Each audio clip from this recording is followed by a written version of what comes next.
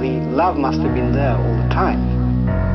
And the ways in which we often defend against love, which means an involvement, a real involvement, and therefore dependence on a person, is to withdraw or to change it to the other valency of hate. If you say it's changed hate to love, it is simply the experience has simply brought the patient to a point where he can accept love and therefore possibility of loss of love more.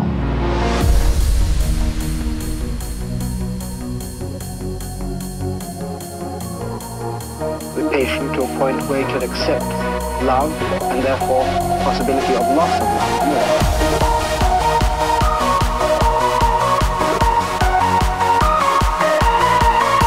The patient to a point where he can accept love and therefore possibility of loss of love more.